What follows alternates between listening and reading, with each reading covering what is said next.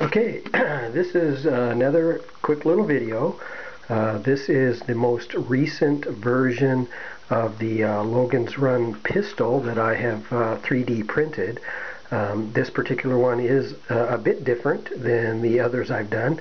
Um, basically the uh, the first few uh, one of them is uh, most uh, noted that it actually shoots flame. It does produce flame.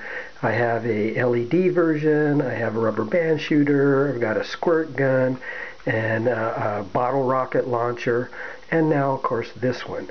So I want to go ahead and show what it does. I um, just recently got the batteries in so we're going to go ahead and test it.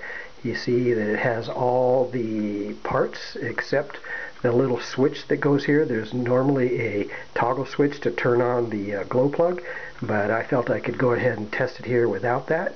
So we're going to go ahead and hold it up here to the mirror so you can actually see what it does. Let's see if we can kind of zoom in here on this. Um, basically, here we go. We're going to pull the trigger. Bam!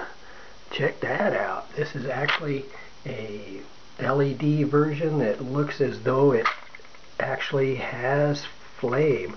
It has four outputs plus the one in the center. Let's do it again. Bam, just like that. Bam. So let's look at it again. Bam, just like that.